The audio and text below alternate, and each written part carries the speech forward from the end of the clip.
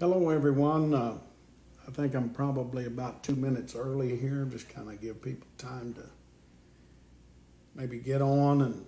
And um, before I start in this morning, I might say, you know, uh, well, first I want to welcome everyone. Um, everyone from uh, First Gospel Church. I miss all of you. I miss having church with you. I wish at least I could see you. They're going to have to fix this thing where you can not only see me, but I can see y'all. But I guess that's down the road, maybe. But anyway, uh, uh, before I start anything this morning, I, I, thought I might say something about um, repercussions of sin. I recently was talking to someone dealing with a situation you know, uh, about a person's sins, and uh, this person just kept saying, "Why can't we have love? Why can't we have forgiveness?" And and you know, once a person repents, um, we should forgive them, and that should be the end of it. And I said, "Well, it is true with some sins, but some sins that's not true." Um, see, depends. It depends on the um, the category or the depth of sin that you ha- that that God has to deal with. I, I, I use this uh, uh, hypothesis. I said if someone murders someone, they could be forgiven for. You know, if they could hit enough humility and have true repentance with godly sorrow, they could get forgiveness from God. But that doesn't mean that they might have to spend the rest of their life in prison. They would have to pay. You, you you reap what you sow, and sometimes sins are not severe enough that uh, some they can just be forgiven. But some sins, if um, if they're if sins are created, uh, are not created, but but uh, uh committed in such a way that it, it, it affects God's work. If it affects, uh, for an example, if it affects a minister can sin to a point that his ministry has been hurt to a point that people can no longer have confidence in him. Um, uh, he may not be able to just get forgiveness and go right on.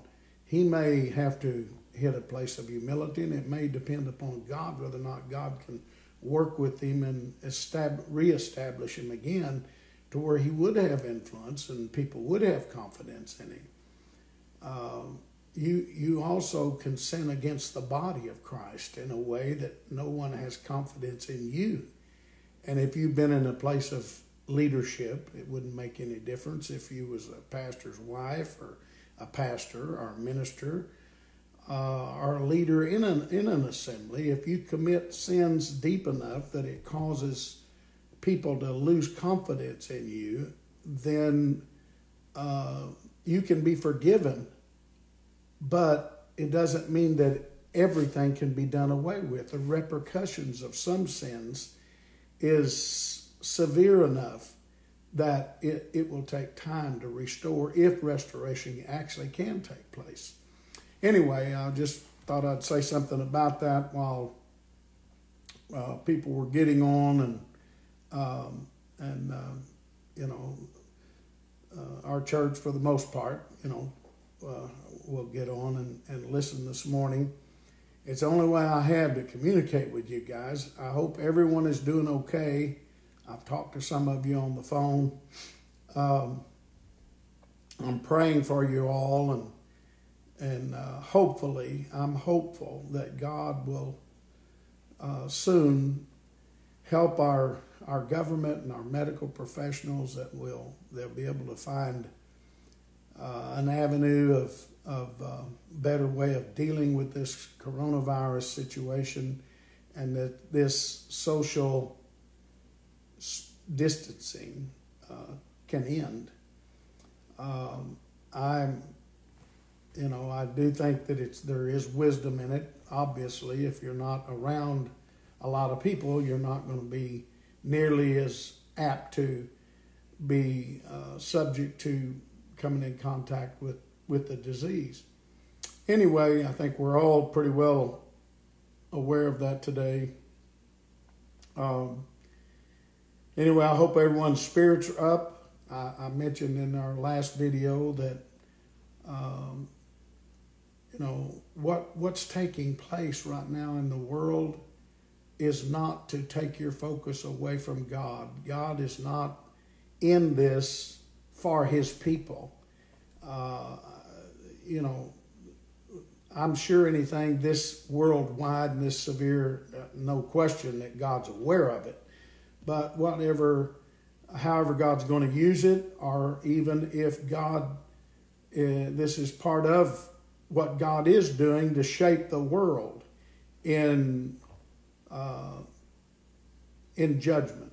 God is going to judge this world in the end of the Gentile world, and so you you would be foolish not to realize that the like I mentioned the other day, God's uh, the the the heart of a king is in the hand of the Lord. The Bible says.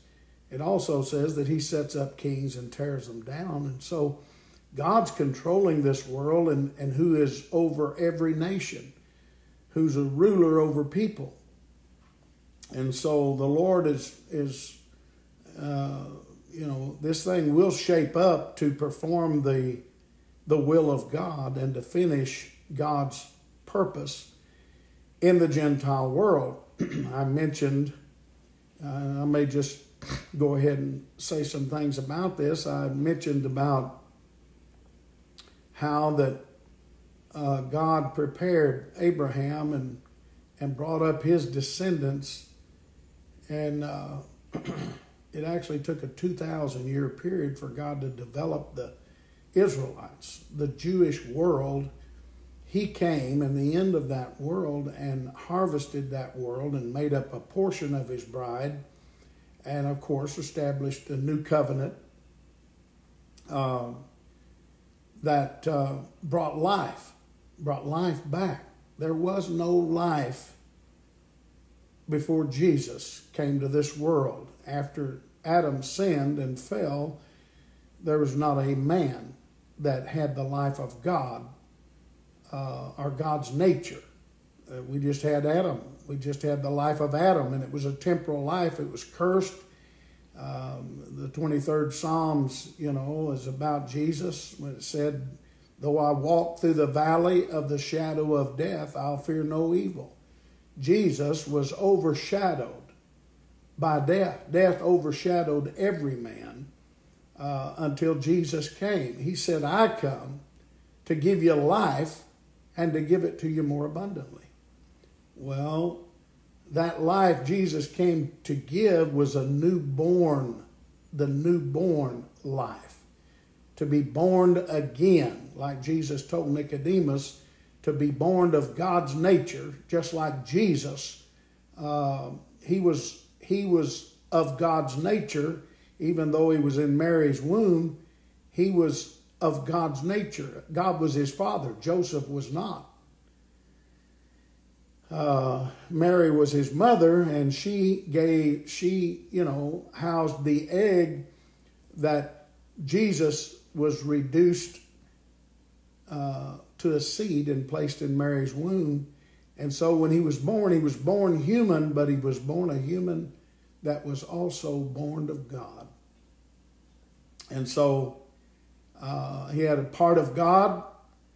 He was he was uh, had the nature of God, but he also was made up of the Adamic nature because he was a human. He became a human.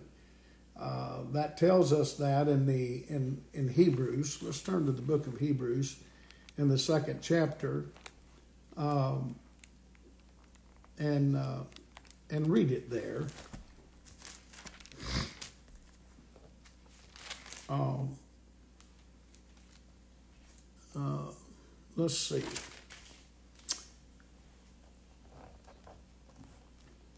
Okay, in the second chapter of Hebrews, it says um, Jesus in the ninth verse, who was made a little lower than the angels for the suffering of death, crowned with glory and honor, that he by the grace of God should taste death for every man.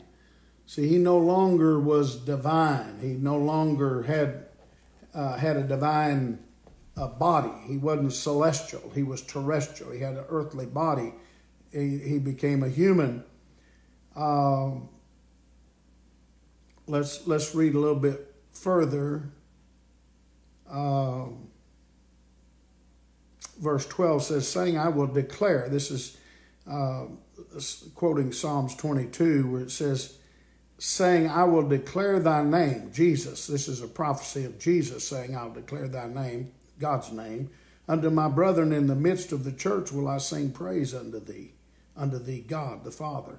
And again, I will put my trust in him. And again, behold, I and the children which God hath given me, for as much then as the children are partakers of flesh and blood, he also himself likewise took part of the same, that through death he might destroy him that had the power of death, that is, the devil, and deliver them who through fear of death were all their lifetime subject to bondage. For verily he took not on him the nature of angels, but he took on him the seed of Abraham. Wherefore, in all things it behooved him to be made like unto his brethren, that he might be a merciful and faithful high priest in things pertaining to God, to make reconciliation for the sins of the people. For in that he himself hath suffered, being tempted, he's able to secure them that are tempted. So as I was saying, Jesus, he took on the, he took, he became a human, but he was of God he was also born of the nature of God. When Jesus came to this world, uh, he came to give us life. That's what he said, and to give it more, more abundantly. When he came to give us life, that was the rebirth, the birth of the Spirit of God, to be born of God's nature. And that takes a, a born again experience of the Holy Ghost, to be born again. And then um, to have it more abundantly would finally be to finish your course and reap eternal life. Uh, you can be born of God, born of God's nature, but if you don't overcome the Adamic nature, you, once, once you're born again, let me say this before you're born again, you're just born of Adam. And you're of a corrupt nature, you're all, you're, uh, all your lifetime, you're in bondage you're under the, the overshadowing of death. Death is the curse that was put on Adam and all of his descendants. Um, and, and now you may be saying, well, Brother Smith, if Jesus came and there was no life before Christ, uh, what happened to all the people in the Old Testament? Well, it, it, it would take a resurrection. It takes the resurrection of the dead for those people to receive this life. That's why Jesus came, uh, and uh, it would take it would take uh, it it takes the resurrection for those Old Testament worthies to resurrect and receive the born again experience and finish. But just remember this. Adam was it was he was imputed righteousness because of his faith and death didn't, you know, uh, the Bible says, precious in the sight of the Lord is the death of his saints. Those Old Testament worthies that were faithful to God, they, they had a promise, they had a hope. Uh, even Job, the oldest book in the Bible, he said, he said, uh, you know, concerning uh, uh death, he said uh, that though the skin worms eat my flesh, yet in my flesh I'll see God. He, you see, in his flesh, it would take a resurrection in the flesh. A lot of people think that when the resurrection is only for to gain eternal life, but the Bible doesn't teach that that way. Uh, there were several people that died in the Bible that were raised from the dead, and then if you read Matthew 27, 27th chapter in the 52nd verse, it says after after Jesus' resurrection, many of the saints which slept arose uh, from the graves and went into the city and were seen of many. That's just a that's just a little sentence in the Bible, and a lot of people pass that over. They don't realize, you know, this was this. They're talking about people here that resurrected from the dead, went into the city, and they were seen of many people. And uh, so after Jesus' resurrection, uh, together with my dead body, uh, Isaiah said, shall they arise. Somebody give me that scripture in Isaiah. Put it up uh, in a comment for me there. Look it up, one of you brothers, while I'm uh, talking here. Uh, so, you know, a lot of people have a lot of ideas. That's called ideology. Ideas is not the truth of the Word of God. We, we, have to, we have to line up with the scriptures of God's Word to understand God's Word. Anyway, Jesus came in this world to give you and I life and to give it more abundantly. You and I are a blessed people that if you're born again of God's Spirit, and that is to be born of His nature.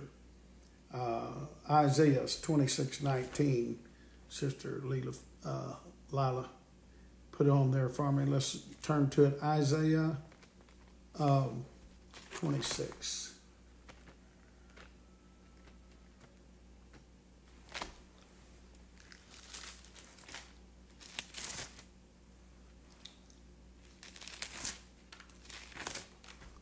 Thank you, Sister Lila. Okay.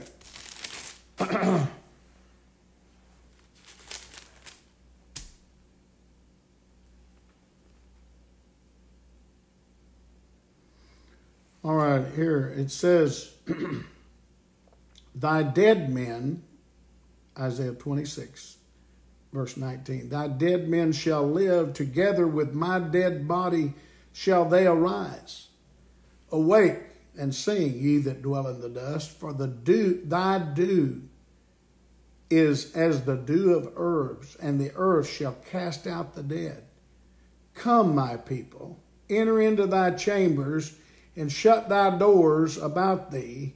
Hide thyself, as it were, for a little moment, until the indignation be past, be overpast. For, for behold, the Lord cometh out of his place to punish the inhabitants of the earth for their iniquity. The earth also shall disclose her blood and shall no more cover her slain. Um, so here, this is talking about a resurrection. Together with my dead body shall they arise. This is talking about the people of God, and this is in the old covenant.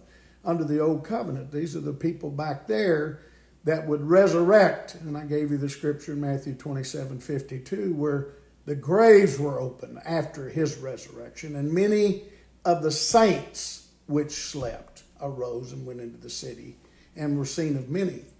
That was a resurrection that took place, and no doubt it was the Old Testament worthies that resurrected and received the baptism of the Holy Ghost which is the nature of God through the new birth, being born of God's Spirit, and having that nature.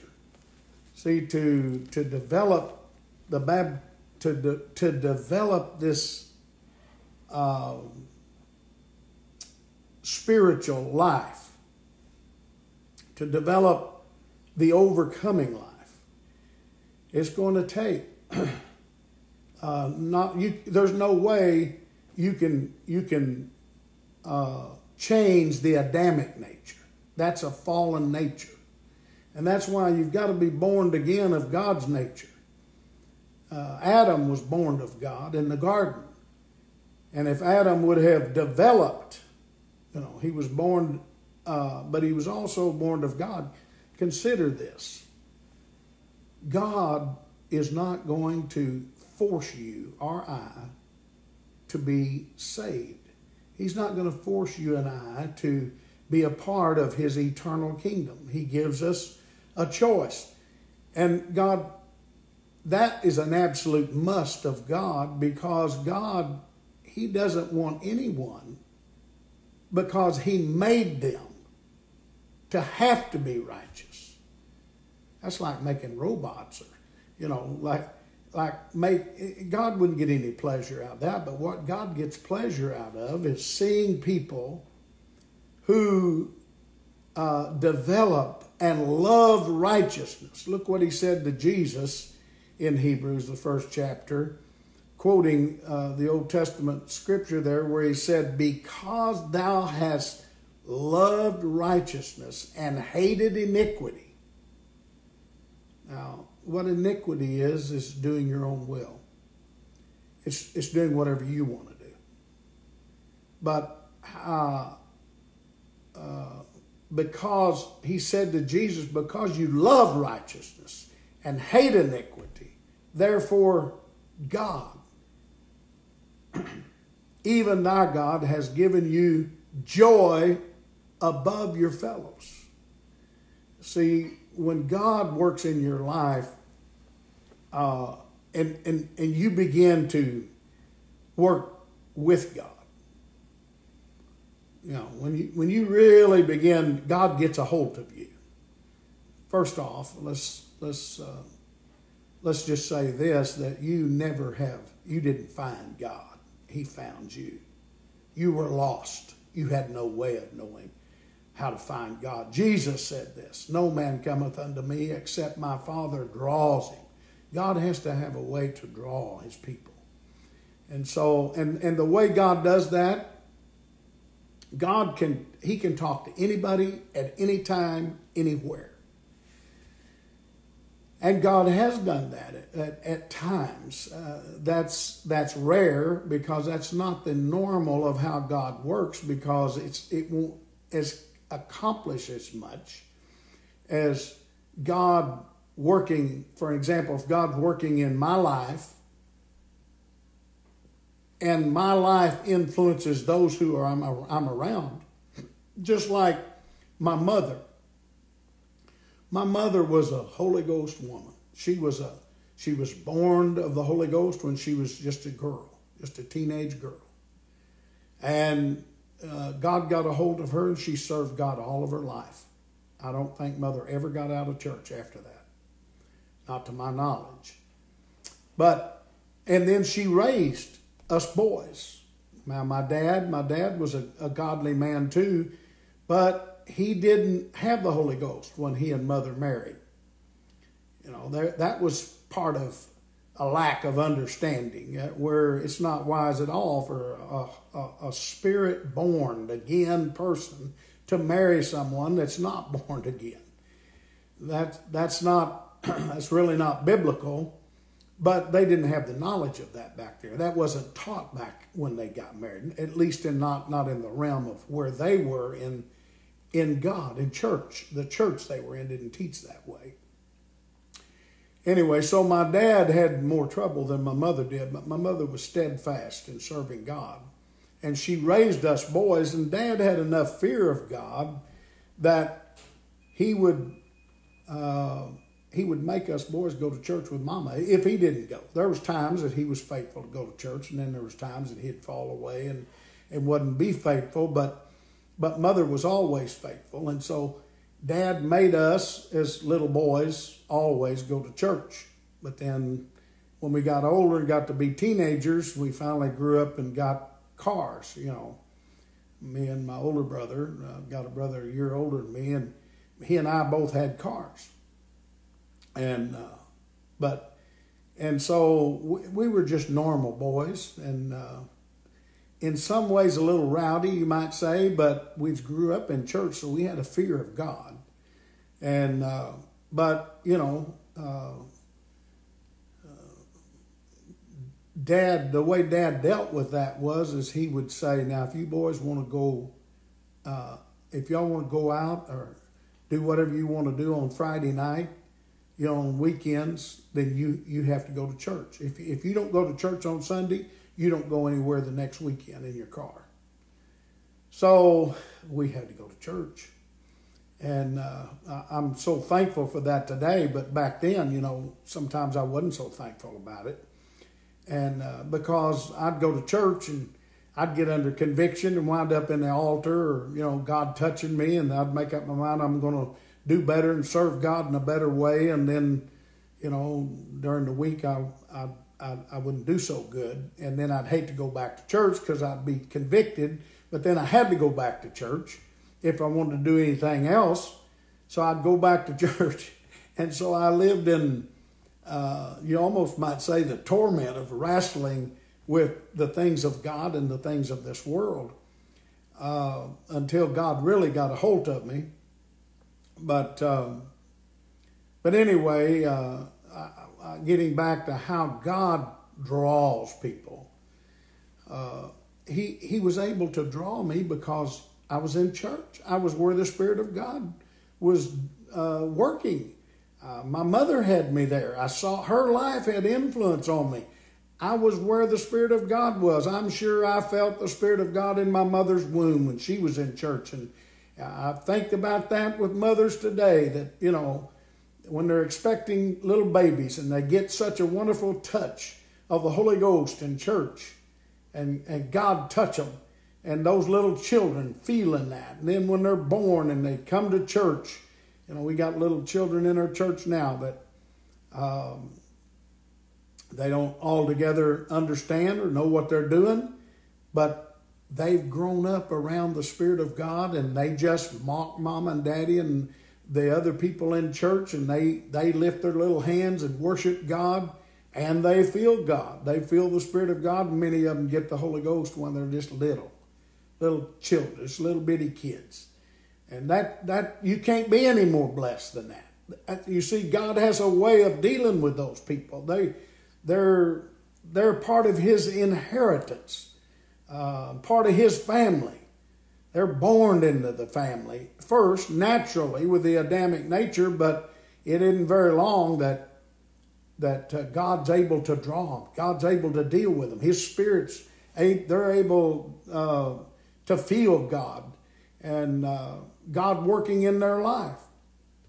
And so there's other children that's never been that blessed, and they may have to get around someone that you know wasn't they weren't raised that way, and so but they may get around someone at school, a friend on the job, uh, maybe another family member, you know, and their life begins to touch them. That's how God draws people.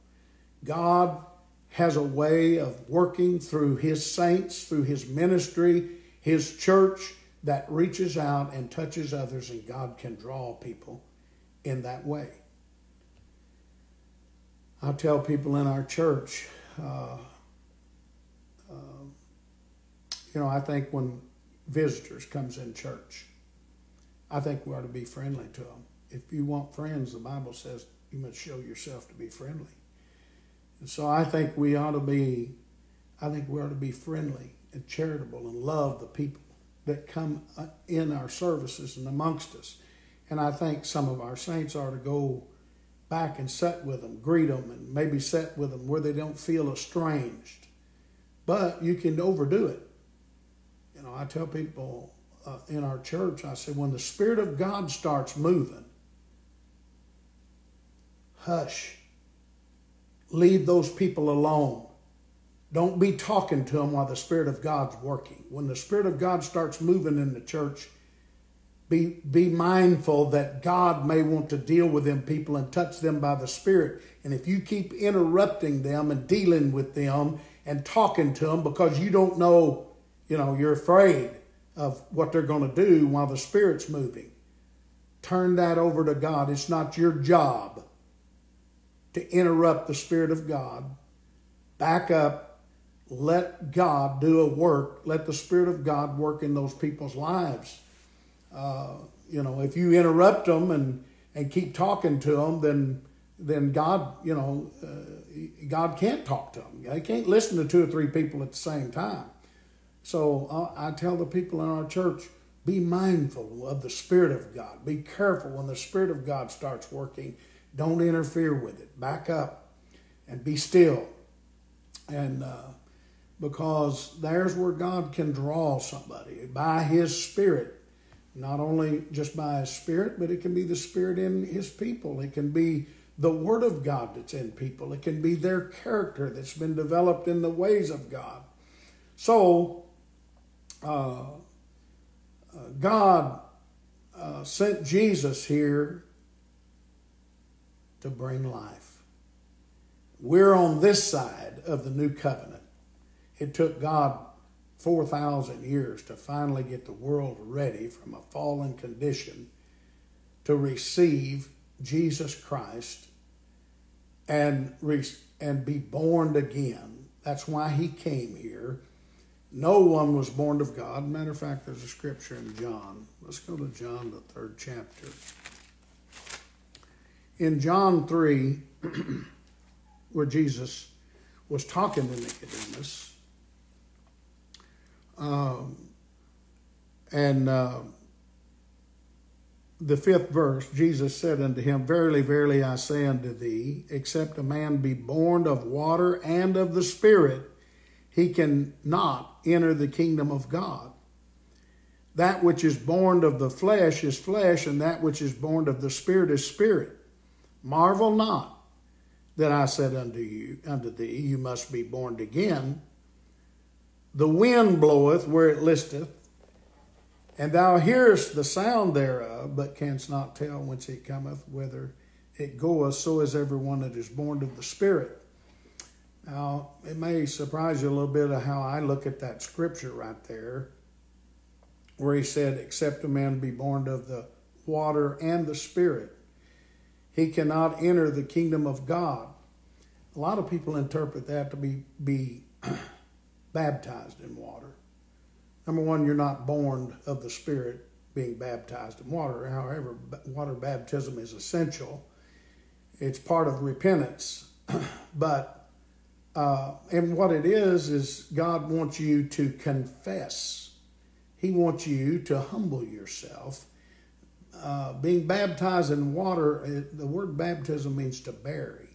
And that means for you to be, um, to when you come to God, when you finally surrender to God's wooing and, and asking you to come to Him and to give your life over to Him, the first thing you do is repent. Now, the word repentance doesn't just mean to say, God, I'm sorry. I'm sorry that I have, have not turned my life over to you before now.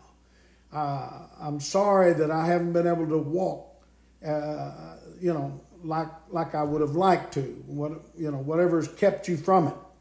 But when God really gets a hold of you, you humble down and yield over to God, and let God come into your life. Uh, first thing is repentance, and yes, repentance is yes, Lord, I'm sorry. God, please forgive me. Forgive me for all my sins and my uh, wickedness. I was going to say earlier about iniquity. Iniquity is your will to walk your own way. The 119th Psalm says that they, uh, they that fear him walk in his ways uh, and do no iniquity that means those that don't fear him and don't walk in his ways walk their own way, which is iniquity.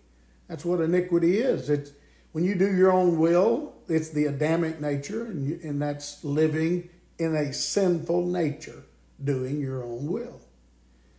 But uh, in repentance, you repent.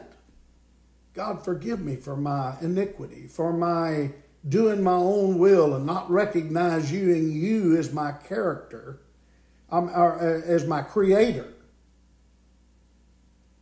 And then the word repentance means to turn and go the other way. So if you're walking doing your own will, you're going to have to learn to turn and walk in God's way and, and do God's will.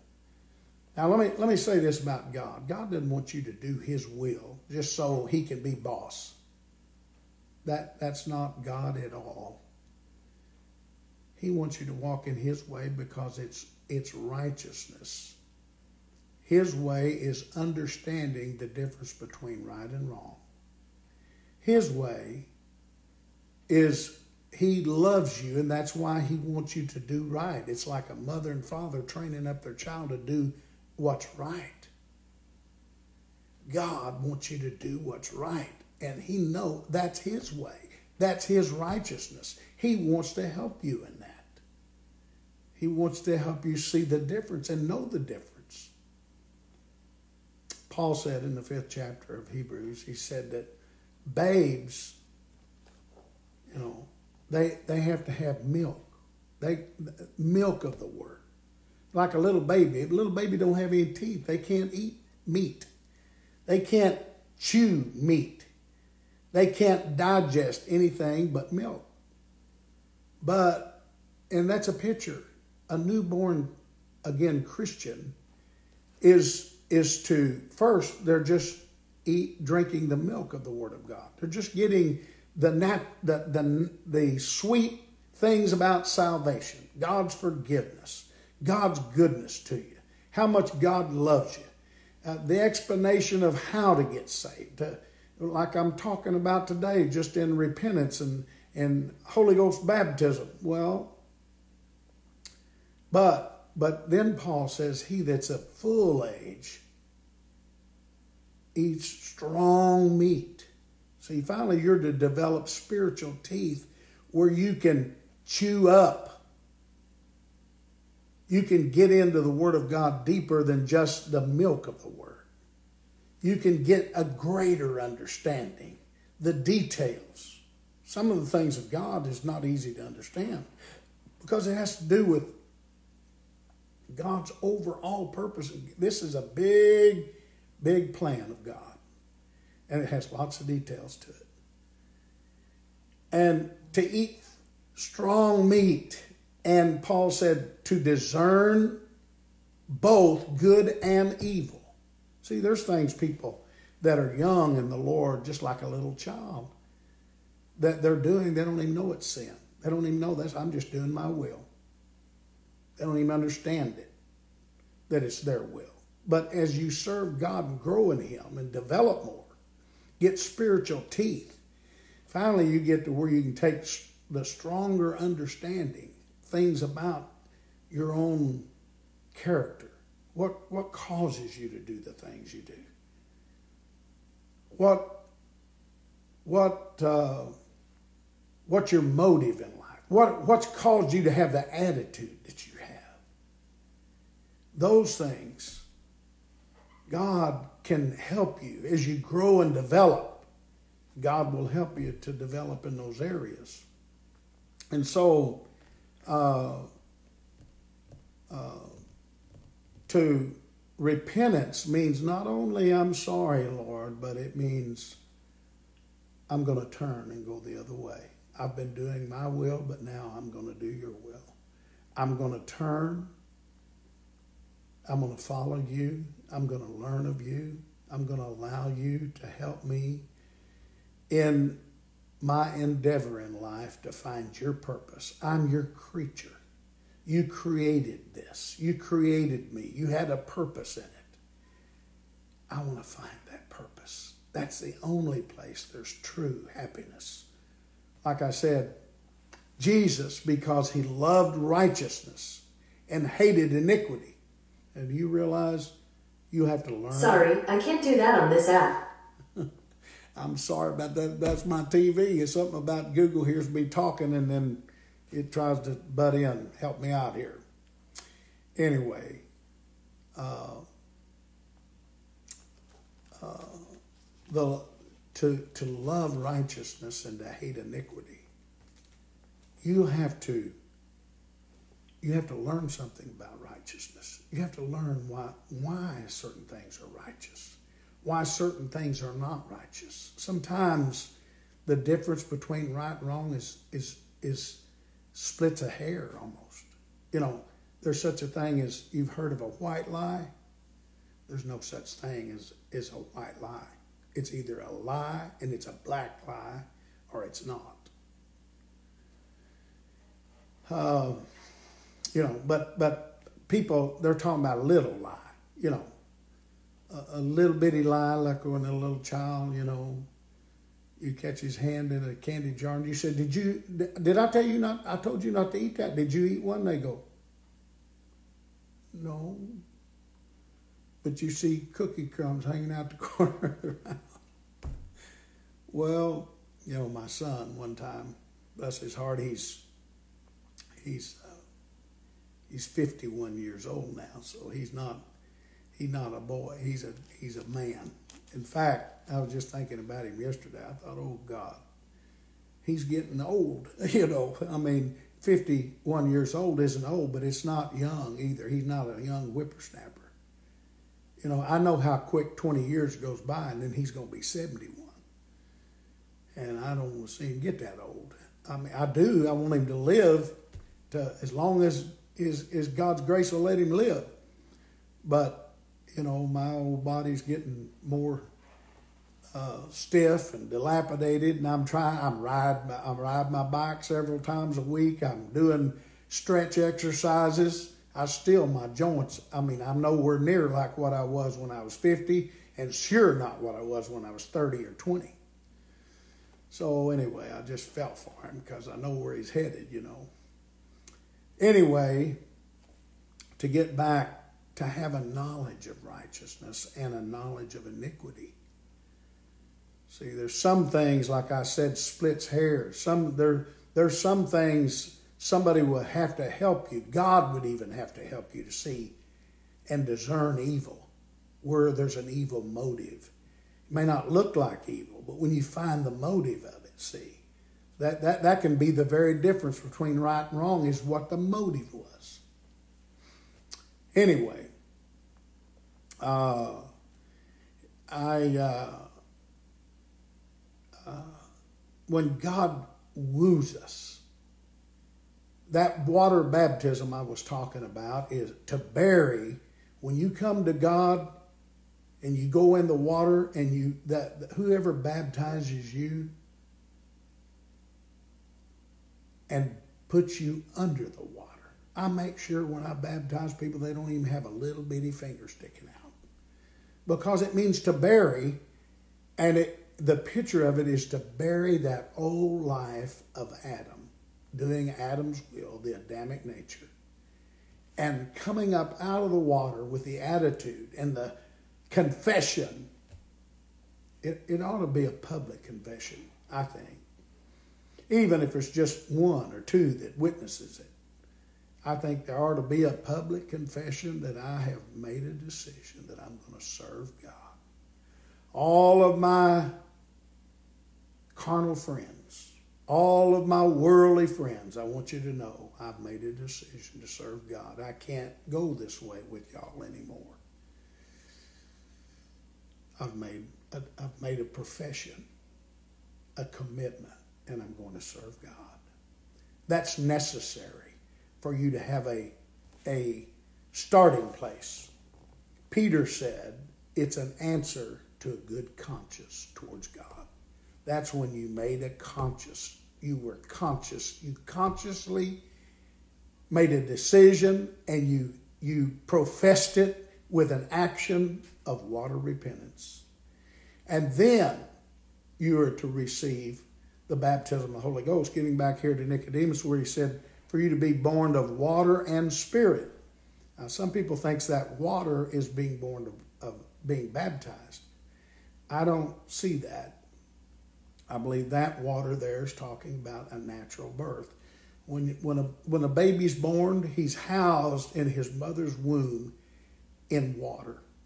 Remember, her water breaks. He's, he's in a sack of water, and that protects that child. That water's a protection. Of course, he's getting oxygen and, and feeding his blood cells through his mother's uh, uh, what do you call that cord? Uh, anyway, somebody somebody have to put it up. When you get my age, it's just words like that escape from time to time. Uh, umbilical cord. There you go. Nobody put it up, by the way. I thought of it on my own. anyway, uh, but that baby's in water. Now you say, well, why do you see that that way? Because of the next spirit. You must be born of the spirit of of uh, the. How does it say it? You must be born, uh, which is uh, except a man be born of water and of the Spirit. Verse 5 He cannot enter the kingdom of God. That which is born of the flesh is flesh, and that which is born of the Spirit, spirit. See, he reveals what he's talking about born of water or the flesh, or born of the Spirit, that which is born of the Spirit, spirit. And then he goes on to say, you know, that you must be born again. And then he tells about the wind blowing and you don't know where it came from. You heard it, you knew the wind blew, but you don't, you know, you, you can't see it. You just know it happened. And that's what he's saying about somebody being born of the Spirit. You, you can't see somebody being born of the Spirit like you can see them being born in the natural. But you know, if you're the one that was born again, you know you've been born again. Praise God. So, uh, it's a precious, wonderful thing to be born of God, His Spirit, to be born of His nature. And then for us to be born of His nature, now the process begins. See, Jesus, if you go back to, to Hebrews, the second chapter there, let's go back to it. By the way, I wasn't even going to talk on this today, but I got started, and this seemed like this is where I was led to talk, so I continued in it. And I feel the Lord in it. Possibly those that that uh, there, brother Michael, my son put umbilical cord down for me. All right, so um, back in the second chapter of Hebrews. Uh,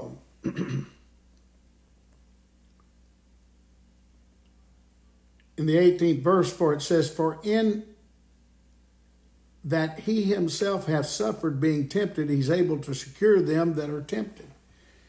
In other words, uh, let's go back up here to the 14th verse. For as much then as the children are partakers of flesh and blood, he also himself likewise took part of the same that through death he might destroy him that have the power of death, that is the devil. Now, let me let me just say this. Um, it wasn't just his death on the cross that accomplished that.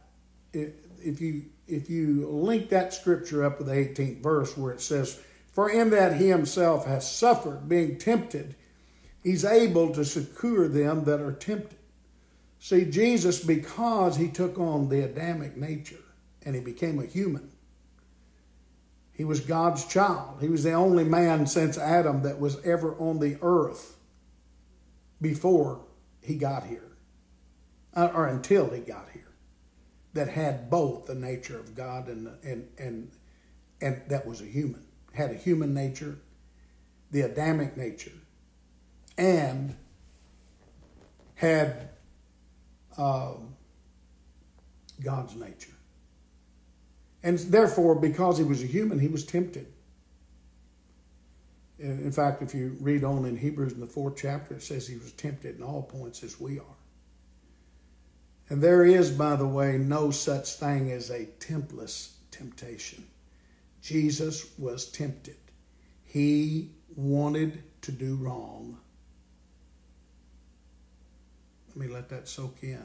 You cannot be tempted unless you want to do something that you shouldn't do. You're tempted to do it. And evil. See, he he he became like he took part the same of the same as we are to destroy him that had the power of death, that is the devil. The evil that's in this world, that's why death overshadowed. Death overshadowed evil. The power of death was overshadowing everyone because of the evil that worked in every man. It doesn't matter what you believe about the devil, the evil of the devil works in your mind and in your being when you behave. It's in your behavior. And so Jesus came to destroy that. And the way he over destroyed it was is he overcame it. He died out. Listen to this scripture in Romans 8 it says, Paul said to mortify the deeds of the flesh through the Spirit. So it takes the Spirit of God to help you. Now, let me just say this to you you are not going to be able to mortify the deeds of the flesh. Not the only thing you're able to mortify when you're baptized is just to repent and make a profession, and God forgives you for all your past sins because of the work of Christ, because of what Christ did and because of the death that he died, being tempted and going through a process. Isaiah 53 says, It pleased God to bruise him. See, unless you understand how this works, you, you, you might have trouble with that. But God put Jesus through, He put, he put Jesus through a process to help him and cause him to mortify the deeds of the flesh through the Spirit. And it pleased God to put him through those things. And it pleases God to put you through those things. And Jesus, having been tempted and went through, see, he was the first fruits, he was the first partaker. He was the first one that was able to overcome the Adamic nature and be perfected in the nature of his Father. And he came so that you and I could have the same. And so here, he himself suffered being tempted. He's able to secure our help and draw and, and work with us to help us achieve what he was able to achieve. So if you go now, let's let's turn to Ephesians, the fourth chapter. This is a, a, a cardinal scripture for those of us that uh, are holding to this message.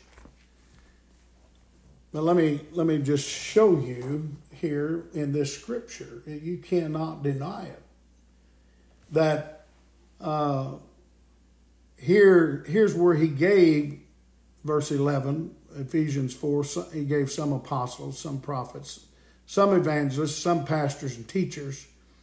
This is where he developed a New Testament ministry for the perfecting of the saints.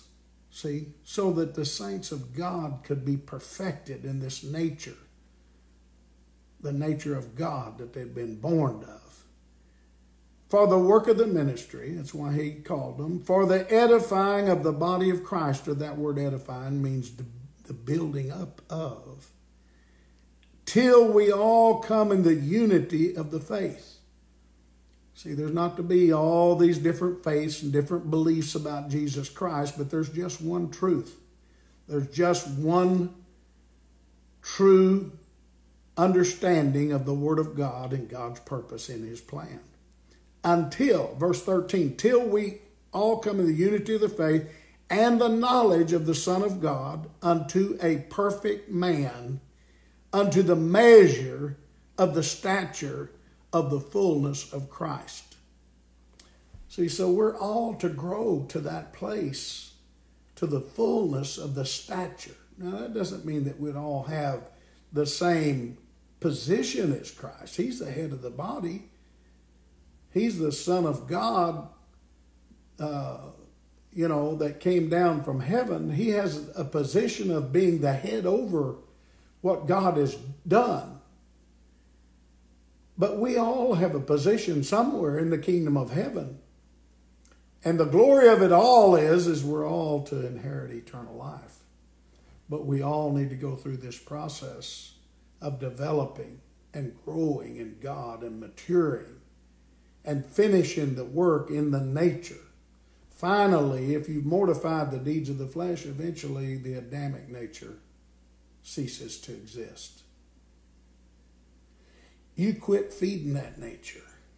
You quit, you know, letting that nature have any influence over you. And eventually, you, look, it's your mind, it's your mindset. Uh, if you if you know the ways of man, you're going to do the things that man does. If you're carnal, you'll you'll have carnal ways. But as you learn the ways of God, Paul mentions to the Galatians, he says he tells them to walk in the spirit and not in the flesh. Well, let me just tell you something. That's not talking about you know having some spiritual connection with God where it's you know I'm getting a I'm getting a signal from no, it's growing and developing and learning, a, gaining a spiritual understanding and having the Spirit of God work in your life. Yes, the Spirit can talk to you, but you won't be able to know if it's my spirit. I mean, sometimes I've had I've had things happen to me, and I thought, now is this God talking or is it the devil? I know that may sound strange, but you don't always know until you grow and develop where you have some understanding of the things of God, your mind becomes a spiritual mind. Then you're led by the that spiritual understanding. And the Spirit of God will bear witness with it. But if you don't have an understanding, the Spirit doesn't have anything to bear witness with. So it's a process. You have to go through a process of developing. You say, well, Brother Smith, what happens if I die before I get through the process? Resurrection. There is a just resurrection, resurrection of the just, and there's a resurrection of the unjust. Don't live the life and continue living the life of an unjust person. The word just it's very synonymous with faithful, holy, a saint, wise. That those uh, upright, uh, you know, but it takes God to help us with that. It's going to take God. You got to get in this process and walk with God. We're, we're, we're running a race, but we haven't finished it yet. I want to get to the place, and let me encourage you to set your hopes and your sight on the high calling Paul mentioned in the third chapter of Philippians.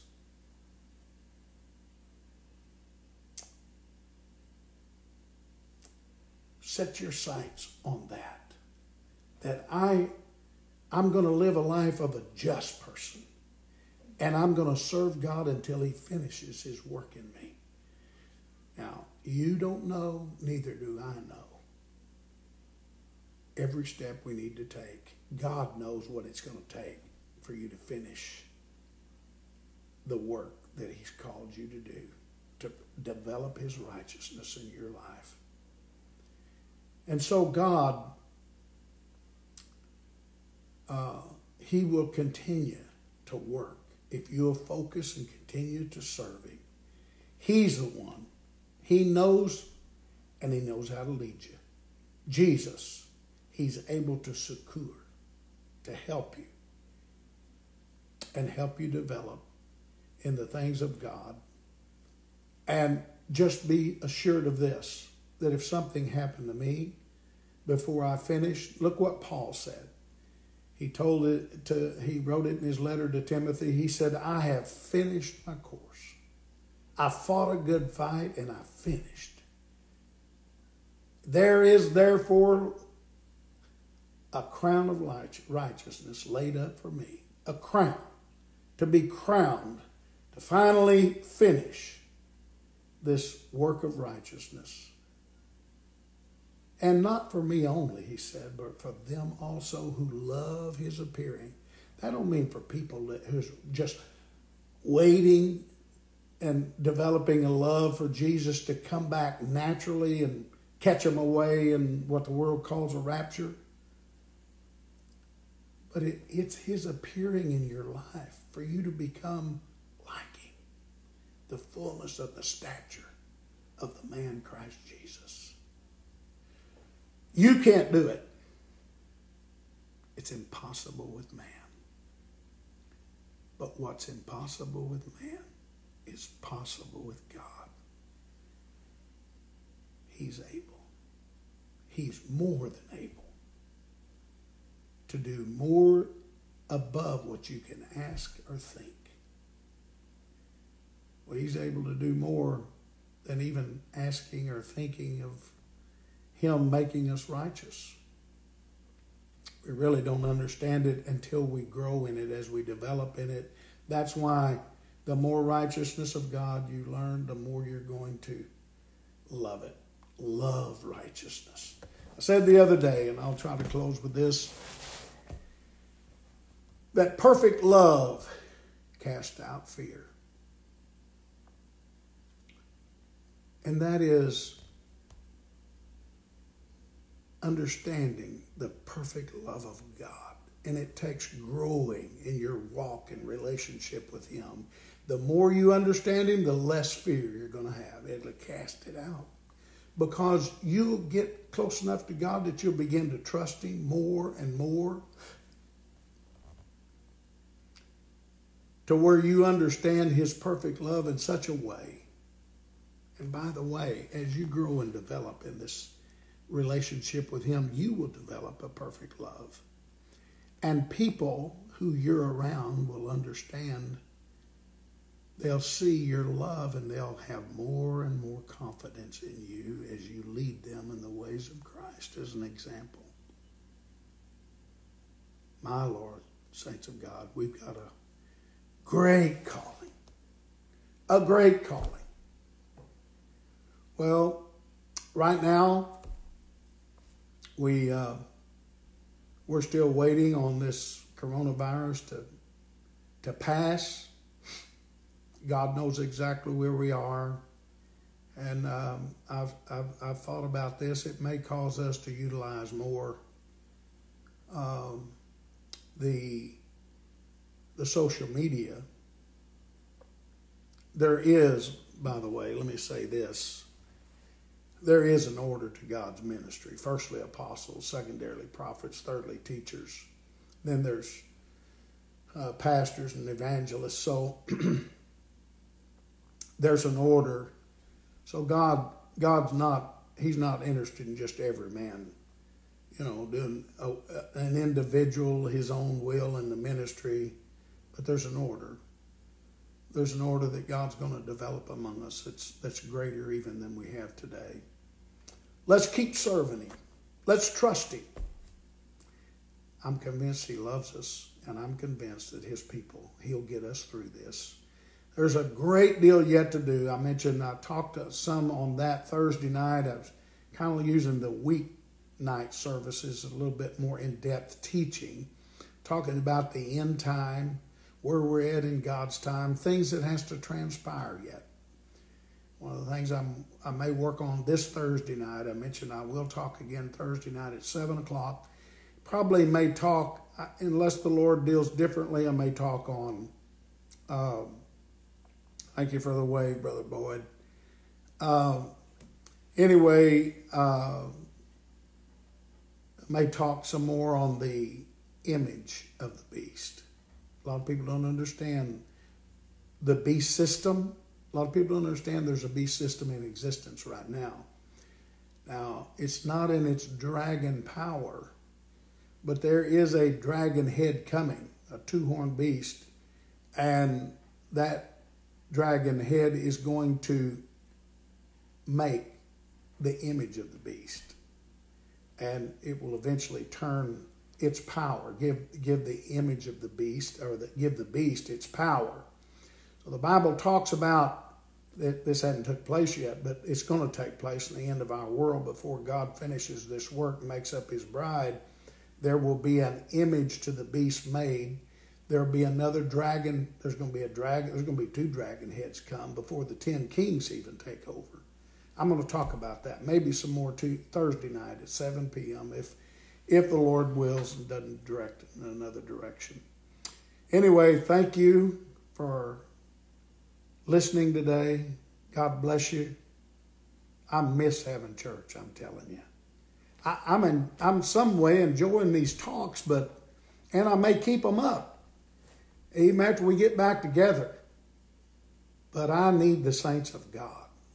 I need to feel you. I need to see you. Hold steady. Let's all, what's that first service going to be like? What's it going to be like when we come back together in that? The first service after the, the social uh, distancing, or whatever it is they're calling separation or whatever. But when we come back together in that first service, oh, it's going to feel good. Then to have the Spirit of God come down among us and bless us. I'm looking forward to it. I want to end by saying thank you, Saints of First Gospel Church. Many of you have mailed your tithes in. Our, our post office boxes. Um, see if I can remember what it is. Is it 49414? We've changed. Let me let me get it for you if you're still if you're looking, you know, if you're wondering what it is. Um, there it is. 46414. Post Office Box 46414, Little Rock 72204 is the zip code. So, God bless you. Uh, I want to thank you for supporting the church in its finances right now during this time. Our, uh, our, our, our church expenses go on. It's still costing money to, to operate the church. So, uh, all the bills still keep coming in and we still have to pay them. So thank you again for mailing in your tithes and your offerings. And uh, we want you to know we're praying for you. Uh, keep praying for those that you have knowledge of that are in need uh, uh in our our local assembly. Uh, Brother Daniels needs your prayers. Sister Abraham, Sister Alexander, Sister Wilson, Sister Crafton, she's always suffering with her diabetic situation. Brother Shelby uh, Weaver, Brother Ray and Sister Susan, Susan Weaver. There's so many that uh, have needs. Please keep them in your prayers. Thank you for praying for me. I'm improving on this episode that I recently had with vertigo. I still am suffering with it, but I am better and I am improving. I'm trusting God to help me get over it completely. God bless you all. I'm praying for you. Have a good day. In Jesus' name, we pray that He'll bless you. Till I see you again, God bless.